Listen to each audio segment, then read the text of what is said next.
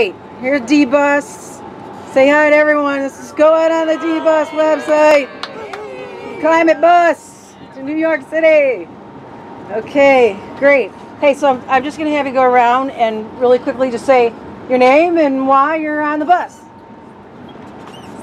Uh, Steve. I'm Steve. Uh, I'm here because you brought me here. Okay, forget you. Sean. Yep, I'm Sean. Uh, I'm a Michigan State student studying environmental studies and sustainability, and I care about the future of our planet. Excellent. Sustainability. So that's what you, you want to go into that? That's, that's fantastic. Hi, my name is Craig. I'm uh, also a student at Michigan State, and I'm in a special program with Sean that takes a bunch of majors that are concerned with the environment. And I'm actually a business major, but I am very interested in um, how business procedures go forward, going forward, how business procedures will be changed to suit the environment. Trying to trying to lower the carbon footprint of a business, right? That's what that's what I did. Very cool. You guys start, got a head start. And Jim, why are you here, Jim? Jim, I'm a photographer from Detroit. I'm here to take some pictures and document this awesome event. Fantastic. And Catherine? Hi, I'm Catherine, and I'm here because I'm concerned about our environment, and we have to turn it back before there's nothing left, especially for my niece Zoe and Zachary, Ryan, and Joey. For for for the kids? Yeah. Yeah. Fantastic. Carol, why are you here? Hi. Um, well, I'm an Earth lover from way back, and all the reading I've done about uh, global situation, climate change, I'm convinced our situation is very, very precarious, and we've got to do something, or we're going to lose it all. Where did you do all your reading? Is it something you had to go out of your way to do? Um, no, I mean, I uh, just, you know, get books at the library, the internet, and I'm networked a little bit with some people with similar interests. And, Great. yeah. Cheryl? Hi. Um, Hi. I'm Cheryl, Sherry, and uh, I'm here because I, I very firmly believe that we are causing the warming of the earth, and I have a lot of family members who just don't think it's possible, and um, I I want You've got to- deniers in the I family? got a lot of deniers. Oh in the my gosh, that's and, hard. Uh, I want. I need to learn how to deal better with with um, talking with them. Oh, well, okay, well, we'll talk. I've been talking to him for a long time. Good, we're glad, we're glad you're here. Robin Winchester. Hi, I'm Robin. Um, I've been working in public education for a couple decades, and I'm watching that fall apart along with the middle class.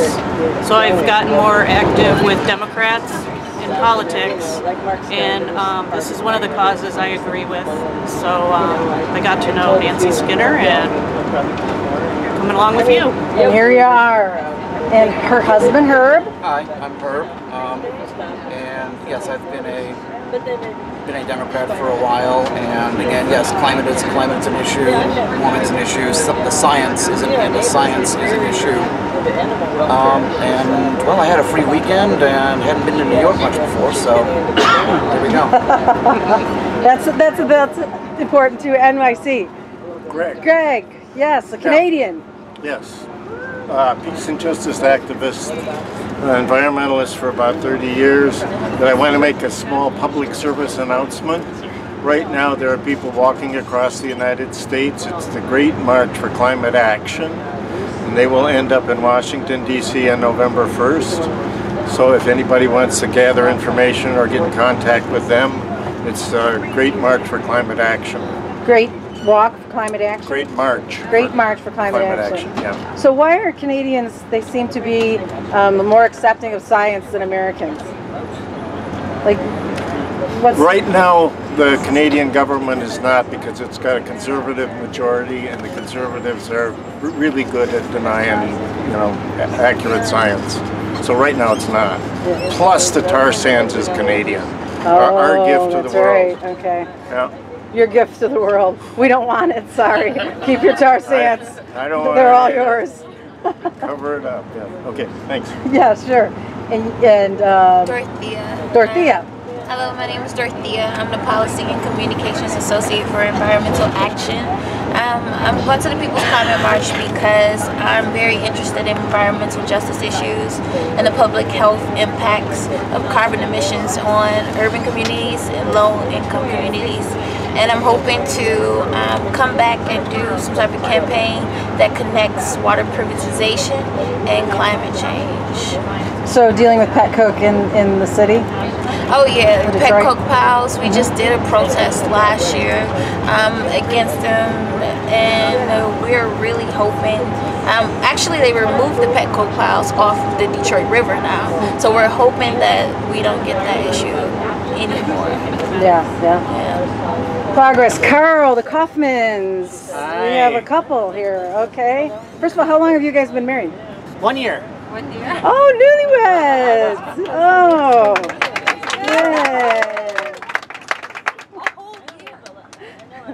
Well, that you, you had to agree on one issue at least, climate change. I know that. You wouldn't be on this bus. So why'd you come?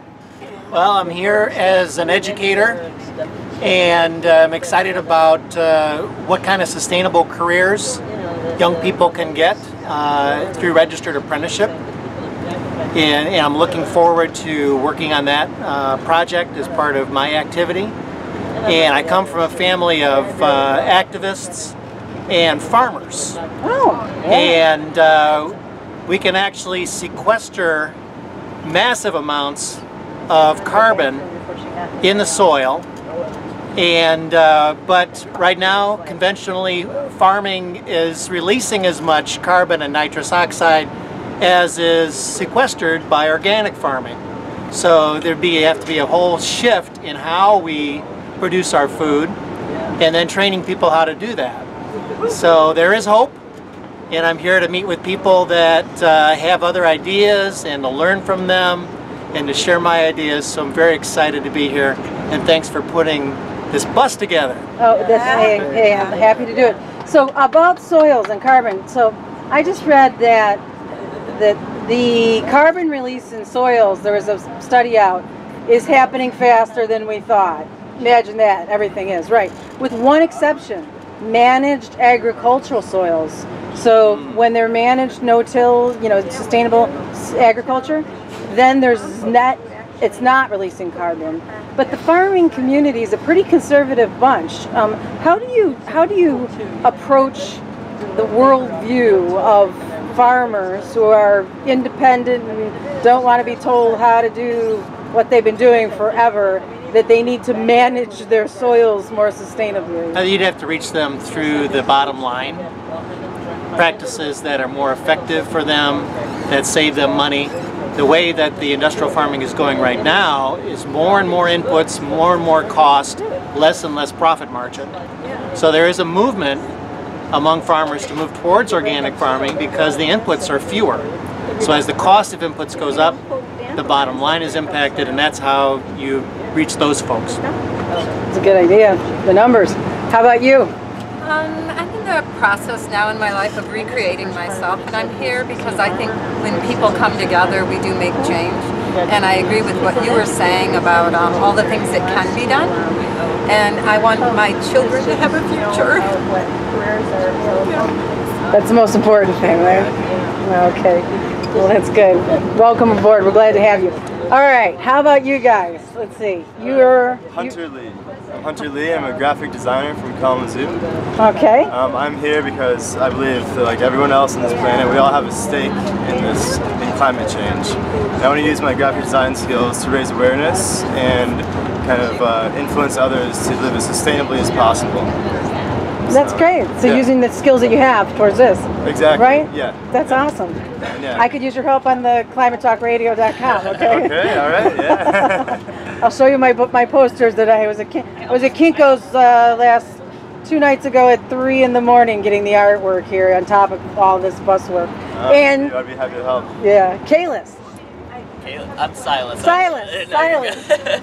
Um, you called me. You were so excited when you saw disruption, Yeah, right? it really, really inspired me. and just really made it clear how big of a deal this march is, and that it could just be an, a, the thing that pushes us over the edge to an entire change in paradigm of policy and of viewpoints about climate change. It could be that, and I just felt like it was my responsibility as somebody who cares about these kind of issues to be there and, and make my voice heard, you know, because this is one of the dominant issues of our time, if not the dominant issue, because it umbrellas so many other things that I care about. And one of my major, I, my major at Western Michigan University is environmental and sustainability studies, but I'm really interested in sustainable food systems and uh, and uh, uh, small farming and diversified crop systems and stuff like that. And yeah, so that's kind of where my interest is vested in this.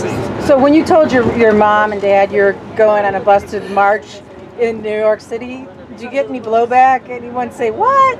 no, my parents were very, very, very supportive. They're they're deadheads and they they went to their marches in their time, and so so there was no blowback, but or negative blowback. You got anyways. an attaboy. Yeah, All right. exactly. Chip off the old block. Hey, Bill. Right? Hi. They probably said it's about time, right? Yeah. Um, my name is Bill Wertheimer. I'm a semi-retired union lawyer, and in my retirement, I wanted to do more direct social action, and kind of my union experience tells me you don't get anywhere without direct action, and global warming is, to me, obviously the the issue that the most critical issue that confronts us. So yeah, so you're bringing. That's interesting. So you're bringing like you was talking about graphic design. You're bringing your uh, organizing experience to an issue. Well, I mean, I've, I've been a union lawyer. I haven't done the organizing. I've Right. represented. But you understand, Yeah, solid. right, that's how right, it works. Right. Right. And there's power in numbers, right? That's So, right. that's There is power in Power in numbers. Okay, Jonathan and Alexandria. Hi, I'm John. I'm a student of sustainability at uh, Northern Michigan. I'm uh, interested in uh, creating a sta- uh, stable climate for uh, small farmers. So farming, a lot of a lot of people interested in farming. Yeah. Yeah, that's great. That that they even have a school of sustainability. That that wasn't even a thing in in my day when no one even knew what it was. So now they have schools about, uh, on it too. How about you? Um, my name is AJ, and I'm a student at Northern in International Studies and Political Science and with some history, and this event kind of encompassed all of that. And I've really found that the environmental movement really moves me in all of those directions and how it's interconnected and related. Um, small farming is a huge issue. I've made it a point to uh, volunteer on organic farms and do organic farming on my own to, on a small scale. So So when you're, awesome. when you're talking about the politics and the in, in the uh, The global, fact that it's not on the ballot and not an issue, it really is disconcerting. The healthcare and the veterans, they're all important issues, but the fact that there are commit to vote cards that don't have any environmental issues on them, and that's why you're committed to vote this November, is really disheartening. So I'm here to kind of change that and put that on a ballot in the future. so it has to be on the ballot. Yes, it does. Where were you when I needed you on my campaign? I apparently not close enough. Sorry. Inga, you came from uh, up north, Alpena, Michigan. I did, I did. And um, I'm about to be a Lutheran pastor, and so I come at this from a faith angle. So I'm marching with the people of faith tomorrow. All right. And um, trying to address climate change from a spiritual, moral, ethical perspective. So She's about to become a Lutheran pastor here. So if, we're, if something happens, right, we can all get the blessing. The last, okay, fantastic. That's good. The faith now, that's it's great because part of the problem has been, you know, the evangelical movement has just started to flip and turn, right? Because usually the conservative um, religious organ- I, I did 12 years of Catholic school, trust me. Uh, but but are, is there hope with the evangelicals on the, the yeah. other side? So have you heard? Uh, Katharine Hayhoe is a climate scientist. She's also an evangelical, and so um, there's a in October in Ohio. There's something called the Earth Keeping Summit, and she'll be there to talk. And um, so she's rallying evangelicals to say you can still keep your identity, but you got to realize this is reality. And so um, and Jesus calls us to have hope in this these times. So um, it's exciting. I think And there is wasn't, hope. wasn't there like something in the Bible about taking care of creation, Yeah, I don't know. stewardship, Over and over, right? Is that the- right? And it's- so I think the word domination or whatever, I think it was just not Yeah, translated. It's ours to serve and keep. That's to serve good. and keep. Right.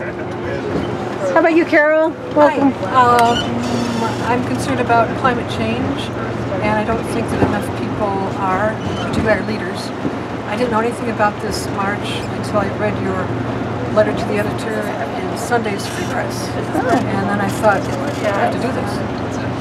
Fantastic. Good for you. Because you just seemed so certain when you called me. You're like, I want to be on the bus. Sign me up. Good. That's great. And what do you do? I'm retired from the Detroit Institute of Arts. Okay. I was an art conservator, sculpture, decorative arts. I don't know why I thought it If you were in the arts. Yes. Right. Great. And what? When did you become alarmed about global warming? I'm in the market Gosh. I don't know.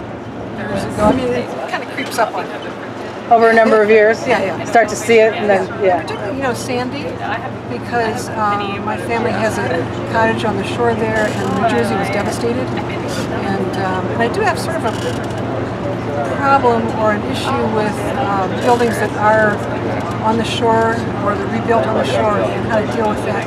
Uh, even though I, we have a cottage there, I'm not, and it was okay. I'm not sure that should That they should rebuild. Yeah, you know what I'm I saying. mean, the real deal is that they're not going to be able to rebuild on coastlines because coastlines are. And they keep moving the, the sand around in Jersey. And then over the winter, the sand just goes away again. And then they keep bringing the sand back. And the whole thing. Right, right. It costs a lot to keep dealing with this stuff, Yeah, doesn't it? beach is beautiful. but the other Yeah, yeah. Well, great. I'm glad. You, I'm glad I got that letter in the paper, and you're on the bus. Okay. Okay. Michelle called last minute, getting the like, oh, you had two seats. My daughter and I want to come. Great. And you made it. Yes, we did. We're really happy that we got your email at the last minute. And So, why'd you, why'd you want to come? Well, um, ever since I was a child, I would say that I've been an environmentalist, and this was something that I've been wanting to do since then. I remember as a kid being concerned about the PCBs that were being released, released into the soil, and concerns haven't changed. It's just growing, and here I am finally fulfilling my mission. So I'm a retired art educator and now a practicing artist and commercial photographer and I use my work to go on a mission and tell people about the way the conditions of our planet and what we can do to change it. And that's what I hope to do here today is to gather more information on that mission. Did you read Silent Spring? Yes, I did a long time ago. Rachel Carson, one of the classics. Well, great. And you brought your daughter. Yes. Hi, I'm Jane. Jamie Alexia. Um, I came here with my stepmom and I'm a recent graduate from the University of New Mexico. I came and I found interest um, with climate change just because I am Native American and it does bring up topics and I kind of want to um, be a little bit more educated on how Native people can protect their lands um, just because we run under a different government when it comes to reservations and I, my, my tribe's from the southwest but I also worked for Native American calling and I learned that about global warming, fracking, and everything and how it affects um, Indian country and I've been really advocate on trying to see what we can do to protect Mother Earth so that's why I'm here. Well, that's great. Now, Native, uh, my studies, the Native Americans were much closer and connected to nature and the earth than, you know, it seems like um, us immigrants who came here after the, we're all immigrants, right? You know, what, what do you make of that? How, wha- how, how can modern civilization be more like Native Americans, and how do you, how do you restore that sense of connection to to the environment that, that sustains a life? Well, I think it's finding the balance because you have two different worlds. Um, being Native American is such much more. There's so many other tribes that, and but we all actually exhibit that we love Mother Earth. Like we pray, to, like that's like our prayer is what we do in our rituals. But being Native American is everything that comes from Mother Earth, from Father Sky, kind of like seeds and everything from from our dances to our songs to a lot of things revolve around um, the earth. So protecting it is protecting important to us, and I think from any indigenous perspective, you, you utilize your resources, and I think that is really important to think about that. But at the same time, you have to balance out and be a part of the modern world of living and the cost of living and just everything. So it's balancing the two out. I think I hope I answered your question. No, it's great. It's just more. It's it's kind of who you are and who you're, how you're born into your your sense of religion and worship, and it's more ingrained than Yes. than we got in Catholic schools for sure. Hi guys, here. Uh, remind. I'm Missy Rice. I'm here with Stevia. And uh, we met in high school. I thought I was joining a recycling club, and instead, I walked into a full-fledged high school like student organizing group. And Stevia was there too. And Yay. now, how many years has it Ten- been? ten years Ten now. years later, we are both graduate students at Michigan School of Natural Resources and Environment. Yay. So we're trying to keep the activism fire going in spite of homework. so, yeah, that's that's why we're here. That's great. I'm actually applying for a associate professor for that school for Oh, to no teach way. sustainability. Yeah. I think, I think I'm qualified. Yeah, on the search committee. Great. And another you have um, uh, go blue. Hi, Yasmin. Yasmin. I'm a senior at Michigan and I'm studying data mining and information analysis. I'm here today because this is an issue I care about a lot, but I want to learn more information about it and also teach my peers and my friends. And instead of sitting at home or being at the football game today, uh, I decided to get on this bus and do something and not just talk that climate change, but actually be part of a movement.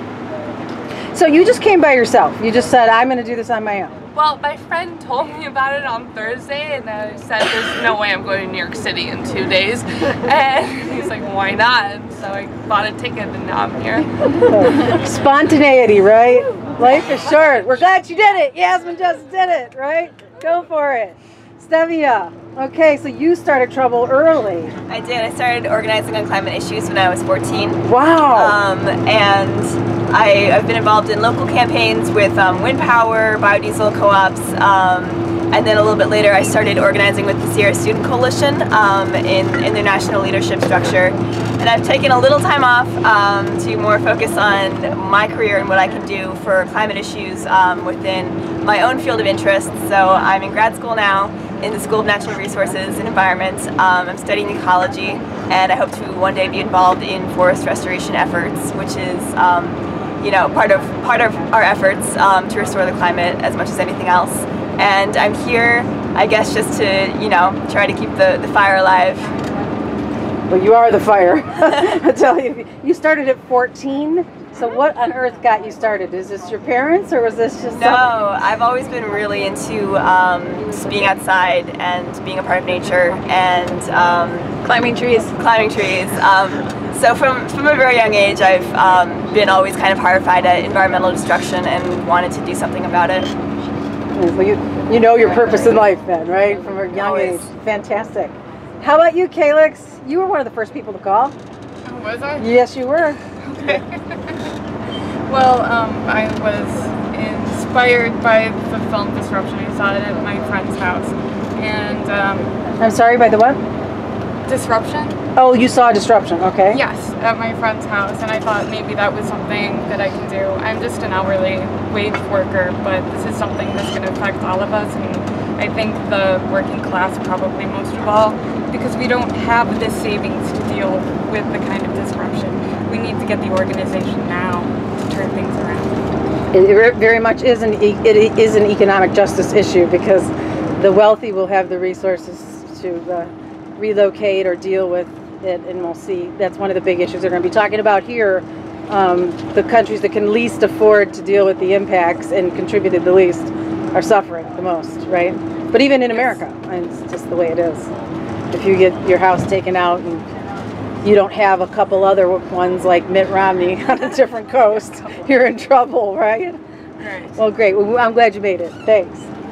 Nicholas, another Michigan Wow. student. I hate to say there's a pattern here, but Hello, hi, I'm Nicholas. Um, um, I'm here because, well, I, I'm from New York City, actually. And you're from New York City. yeah, I, I grew up at the top of Manhattan where there's um, uh, kind of a little patch of old growth forest. I, I consider myself lucky because I felt kind of a, a connection that's uh, hard to feel in New York City to natural spaces. And so, um, so I've, I've kind of always been interested in, in um, using science to, to, to study natural spaces and conserve them. And, um, actually, before my, I studied um, developmental neurobiology, and, um, and after I, I studied abroad in Panama and learned about the urgency of climate change issues, I, I realized that I need to switch. So since last year, I um, I kind of have done a bunch of research on carbon cycling um, in the Wow. tropics, and, and now I'm in grad school pursuing um, research in academia. And I although I know academia is pretty slow, I'm I know activism is much faster. So I'm doing doing what I can to live both lives. Well, isn't it great though that you can be in academia, but you're on a bus being an activist, right? Sometimes those act. I think the ivory tower needs to get on a bus. Yeah, yeah. As, as much and we, we need to demolish the ivory tower. I'm very interested in, in scientific communication and, and and kind of bridging the gap that there is. Science speak. It's critical. Great, great, great, Nicholas. Hi, I'm Martha. Hi. Here it is. um, well, I am from Michigan originally, and I live in Brooklyn now. And I was gonna go. I was at home visiting, and I was looking for a ride back, and because my original ride fell through, and then my friends told me about this, and I thought it would be a really interesting experience. Uh, and to get to know the activist community around this issue a little bit better and get our so. Good. So were you And I'm there? Were I'm you in uh, New York during Sandy? Yes, I was. And how it? How did that feel to be in the center of something like that?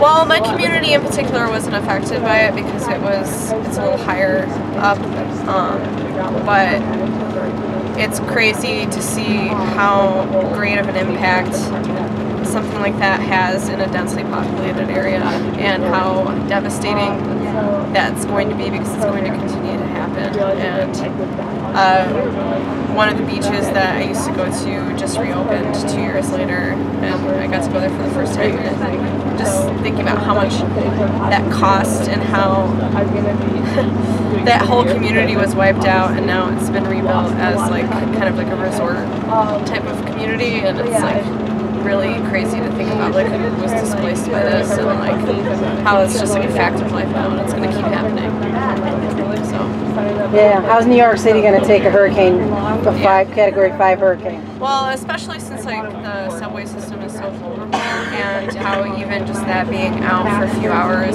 during a heavy rainstorm really really interferes with like daily life there in a way that you can't you have no other option you know there's no I mean everyone can't just get on this it's just crazy Yeah. Yeah, and I'm an uh, I'm an artist, and it's it's a lot of my work is influenced by natural forms and things. So it's I don't know, it's pretty important. Fantastic. Yeah. Welcome. Pass it up. Pasita. Pasita. Yeah. Hi. Um, my name is Pasita. I graduated from Michigan State University uh, with a degree in comparative cultures and politics. And I'm marching today because I really think that this is a civil rights issue, and I feel that um, everyone deserves the right and the access to clean water, clean air, and clean food. Like Red Yeah. So little emphasis is, is placed on the civil rights issue and the, uh, on this around this, right? It's been such a heady scientific issue. Right. Yeah. So, how do you think that? How do you think the civil rights community can start to under see this as a civil rights issue? Because by and large, I don't think they do yet. Yeah, I think mostly what needs to happen is some awareness around the issue. I think a lot of people don't really know what's going on and don't understand what's going on. Um, so to be able to put this issue into terms that are easier for people to understand and to recognize that it does affect them in a personal way would make it um, easier for people to understand what's going on. Well, the haves are going to get through it, and the have-nots are not. Right. Right. Exactly. Great. And you're Heather, right? Yep.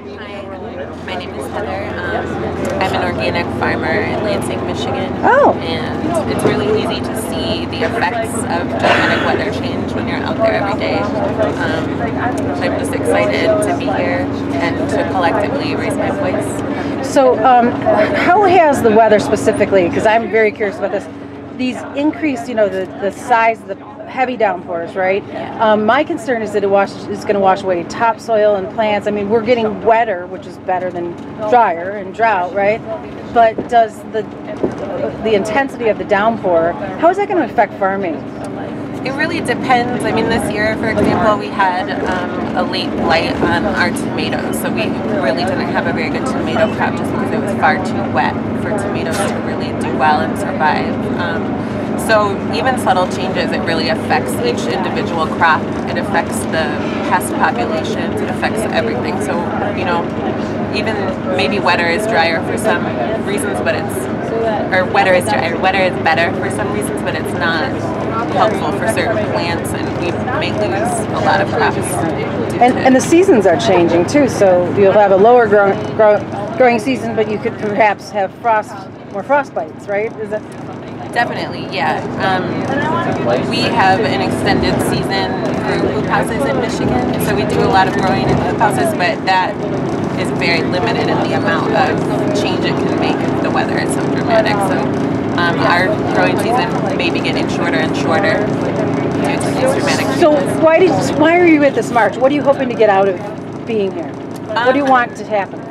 I'm just excited to be surrounded by like-minded people and to feel all the energy and hopefully that will be an impetus to spark some change and maybe to help me um, interact with folks in my local community more around these issues. That's great.